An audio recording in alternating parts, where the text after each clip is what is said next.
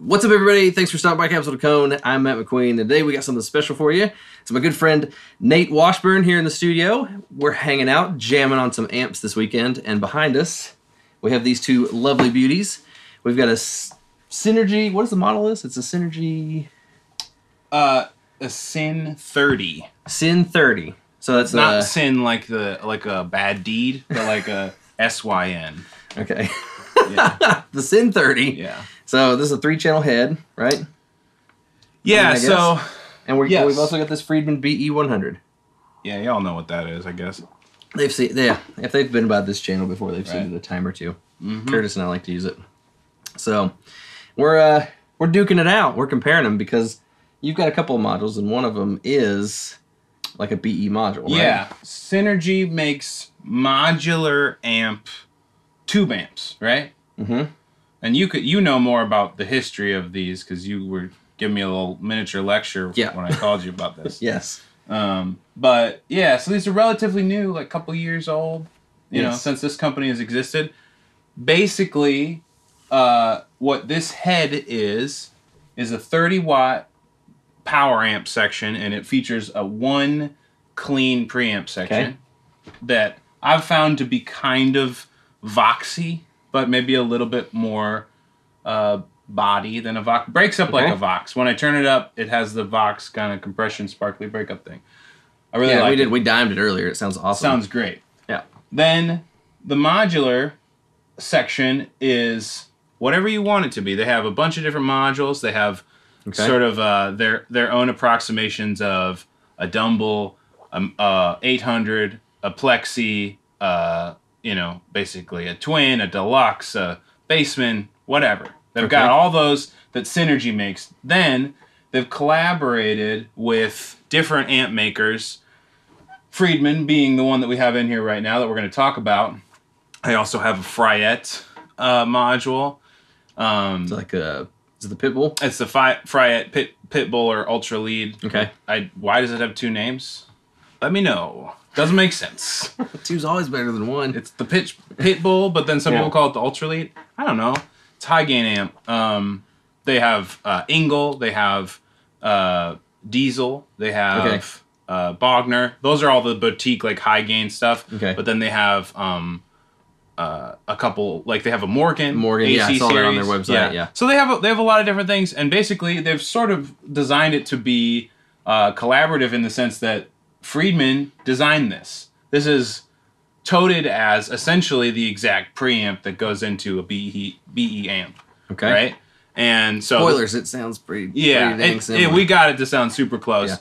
So I don't have a Fryette or a VHT amp, so I can't tell you how close it sounds. But John Yeah. Fryette was been super instrumental in designing like a lot of the, you know, he designs basically the power amps that Okay. they sell separately. The uh, the Synergy company sells. Um, so yeah, it's really interesting. Like just an idea that I started to see on you know following up with some bands that I was interested in, and I mean I, I'll be a slightly candid because I can't talk about the project I'm working on, but there's a project where I need a high gain amp, Mhm. and I'm doing more of a, a metal style, progressive metal style like production. I don't own anything like that, Yeah. so my quest was like, well, what can I afford? What can I, you know, I don't want to start collecting, you know, Diezels and Engls and, you know, Yeah. Framus dragons and all these amps that I'm not interested in. Aside from I have a project coming up that really does need something like that, Well, why don't you just get a Kemper? because I've never thought they sounded good. But I'm sorry. Yeah. I had, yeah. I can't. I, don't, I couldn't even roll with your joke on that I just don't think. I just don't think they sound good. Uh, anyways, it's fine. It's fine. this is a tube amp. Yeah. Very easy to swap. Apparently they're hot swappable, but um, who cares? I'll just put it on standby. It doesn't matter to me. yeah. Um, so yeah. So my dilemma was how do I have access to amps I can't afford for a project where yeah I don't want to necessarily invest a bunch of money Sure. and stuff and then you know have to sell it i don't really like selling stuff it's just like a chore to me Mhm. and so yeah i just was like okay what are my options so i started watching rig rundowns specifically i watched opeth and they were using synergy system live and they were like sounded awesome. They were like really excited about it. Yeah. you know it, it was like a, a no compromise type solution. So i was like well let's try it. Mhm. and I've so spent the last week in writing and rehearsals with my band, my Epic, and we use this, and this has a cab simulator out, so I can throw this on silent and have the instead of it going to a cab, it just goes out to my computer, and that makes demoing so easy. Like the feeling of pl- of plugging your pedal board into an amp to just do a demo. How's the like- cab sim sound? Um, it sounds. I don't use them a lot, but it sounded totally fine. Like it sounded better than any Yeah. amp sim I could pull up on my, you know, like any like uh, default preset I had on an amp sim. You know, Gotcha. so I've worked pretty hard to make some amp sims work in the past, but this was not work. It was just like went into the computer, sounded awesome.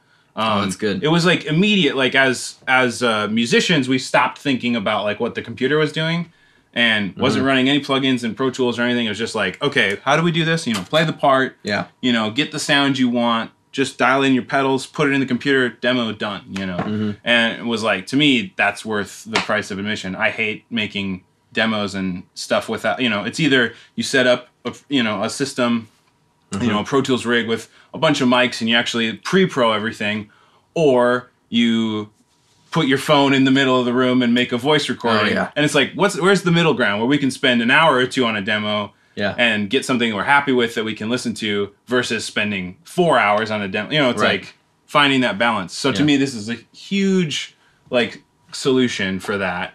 Um, and I was super happy, and everything was sounding coming back to me like Yeah. a real tube amp.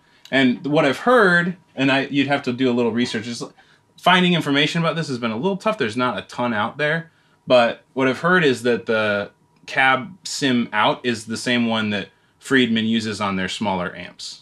Oh, okay. And you even remarked that this Yeah. looks like it's made in the same factory, which is like yeah, the build the build quality of these things is phenomenal. Like looking at it just compared to just I mean just the fit and finish of it. You know, I have nothing to base this off of except for what my eyes are telling me. But the fit and finish of both of these amps looks I mean basically the same. They look they look really really good and uh, I think that you know I don't know. I mean I know that the Friedmans are like a you know there's there's handmade ones I think and then there's other ones that aren't and so I don't I don't really know. I don't I don't get into all that stuff but I was thinking that they all are like there's like a big factory or something. I watched a YouTube video about it. There's a big factory where like the Morgan stuff and the Wampler pedals and the mm-hmm. Friedman amps and and I think these are all made there. So yeah. I think, they it's a very the same- collaborative. Like the synergy thing Yeah, seems very collaborative as far as like all these amp designers yeah, are like invested in the company, um, which is that's super interesting to me. yeah. They're not doing the like cheeky thing that all the like modeling like companies the have done. winking at the name of it or yeah, whatever. where it says like Freedman, but they spell it with two Yeah, e's or something right, like right, that. right. Yeah, it's not that exactly. it's not that. No, it has his logo on it. You know. Yeah, Uh, man. So I think it. Uh, I think it sounds great. So let's do. Um, We let's want to hear a couple sounds. Yeah, let's hear a couple sounds. We've got the Friedman BE100 and the Synergy Syn 30, and we have recorded both of them. We're using an Ampeg V4 cab that uh, has a creamback speaker in it. I've got a 57 on it and a Royer 101.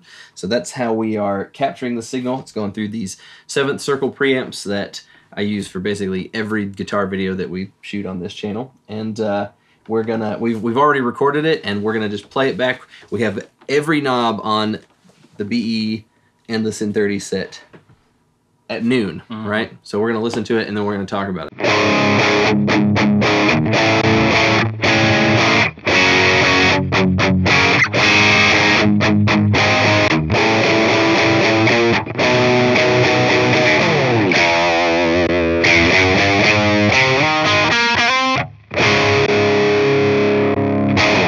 Let's do just one more, man. It's just so it's there's enough differences, but it's so similar. I think we should hear it once Yeah. more.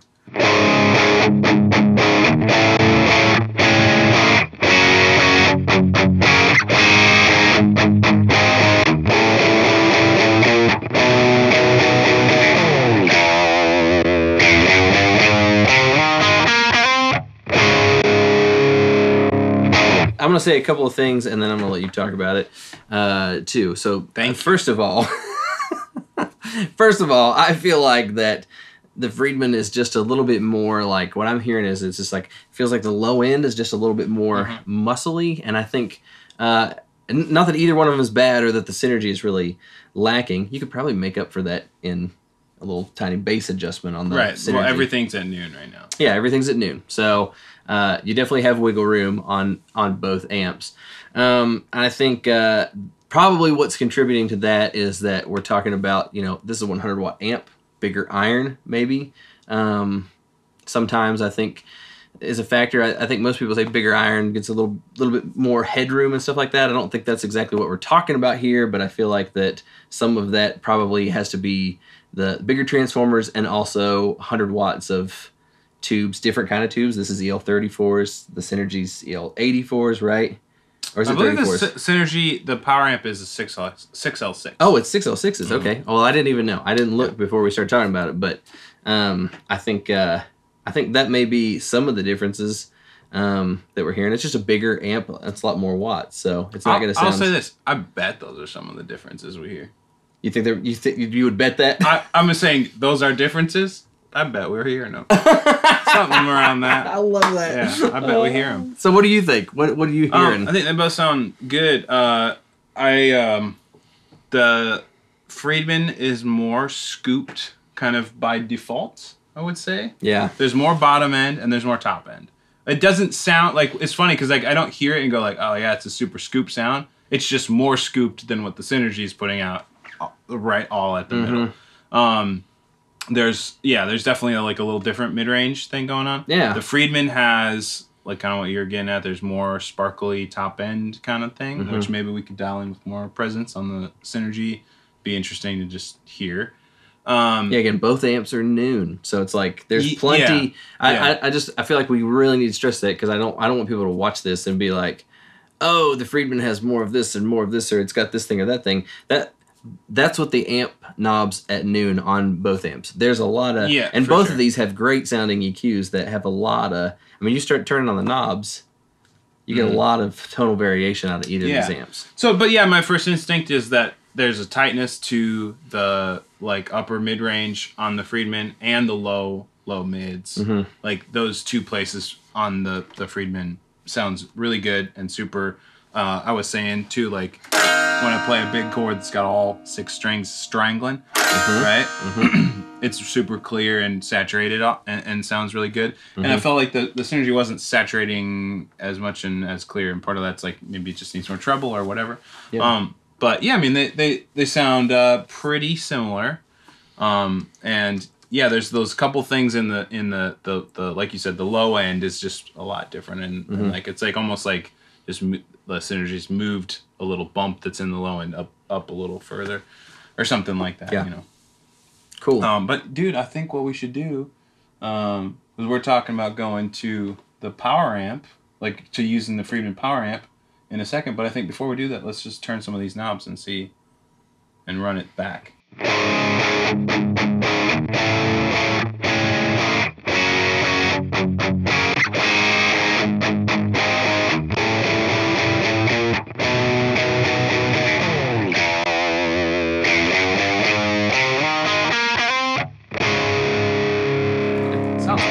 Close. yeah, we're getting really close. So sounds pretty close.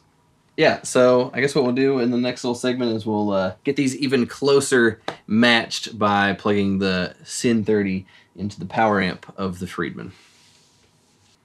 So now what we're going to do is we're going to take a look at both of these amplifiers and we've tried to get the synergy to sound as close as we can to the Friedman by running essentially running this amplifier out into the Friedman's power amp, which we felt like as we were going through it gives us a little bit more of the low end that the Friedman has that it didn't seem like that the Synergy had when we were just setting the knobs all at noon, right? And so Synergy makes uh, a desktop unit, like a one rack unit, that's really designed to do what we're trying to approximate here. And uh, we don't have that. We just have the head version right now. So we're trying to, you know, find a way to showcase one of the features that they have, which is basically, hey, take your amp that you love, take that power amp section, run a different preamp, add channels to your existing amp. So while this makes sense for me for what I need to do with it, the desktop unit makes sense for a lot of people who already have Oh, yeah. amps and want to like just add options. So this is kind of our way of like going. Can we make this Friedman preamp sound as close to the BE like preamp and sound as possible. And I feel like we got it pretty close. Well, I think you know just based on the the scenario that we've set up here, I I would be interested in getting the little desktop unit and then running it into. I could run it into the the Friedman's power amp if I mm-hmm. wanted to. I could run it into the the 5150 if I wanted six L6s and you know have a bunch of different sounds and not ever have to have the amp, but could still get different Right. different preamps and different sounds. So I think it's a I think it's a really good sounding setup. So this is what let's see, we'll just cycle through here.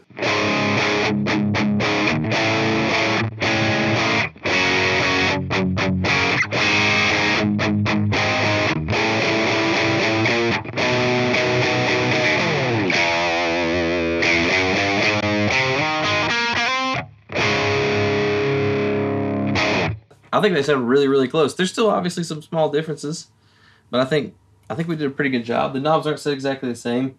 What are you hearing difference wise in where we've got it right now? Um, I, I still feel like there's something so cohesive about the Friedman, you know, the the this one, the amp, the full amp. Uh, it just sounds like it's built to do the thing it does. Right? it, just does. all sounds glued together. Um, yeah, I don't I don't know that this is a replacement for it. I I think it's a, you know, for me it's a great option. I don't want to have to buy one of those. Yeah, You know, they're, um, they're spendy.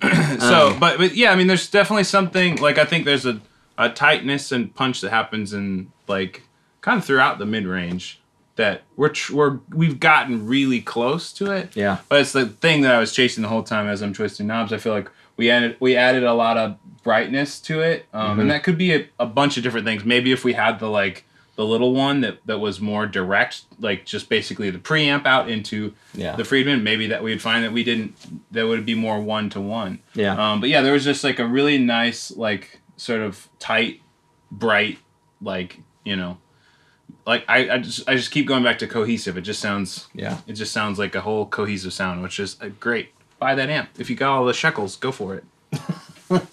Uh, I I did feel like you know the more that you twisted knobs when we tried to get it, I felt like we just kept getting closer, but we never. Were, I just felt like we also were just you know we did six or seven little trials here to try to get it as close as possible. I felt like. Uh, yeah, we just never quite nailed it. You know, it was just it was always like just a little bit further. You would tweak one thing and it would change. I There were times where I liked the synergy what we had on there better. So Yeah. it wasn't it wasn't necessarily a better or worse, but it was like the thing we got just from basically everything Oh, on yeah. Dune, on the Friedman. And I was like, oh, let's try to match it. And sometimes like, well, I would dial it in how I dialed it in on the synergy, like Yeah. with a little bit more mid range and less scooped. Um, and like yeah, so there's definitely like with any amp, I could say that right. Like I could get a hundred dollar amp and find things that I like from that over the Friedman. It's not no amp does everything that I've found. No. Um, so the you know to a degree there's like sort of a give and take, but yeah, for for the task of us matching the sound, I think we got really close, Mm-hmm. and I'm like super excited because. Like I said, no, this is mine, and I can use it and pretty much be like, you know, within five percent of what Yeah. I want from it, um, and I'm a, a happy camper. So it's, I think it's a really cool thing. Um, it's not exactly the same. Yeah. There you go.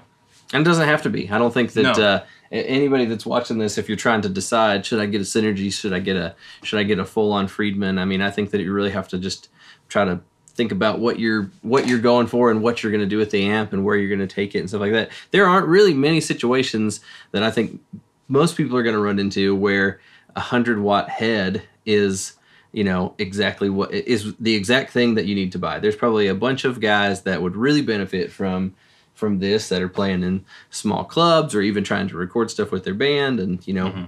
uh, at the beginning of this video, we talked about your situation and how you're using it, and so.